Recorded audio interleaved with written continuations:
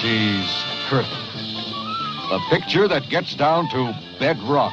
Ginger, the very private eye.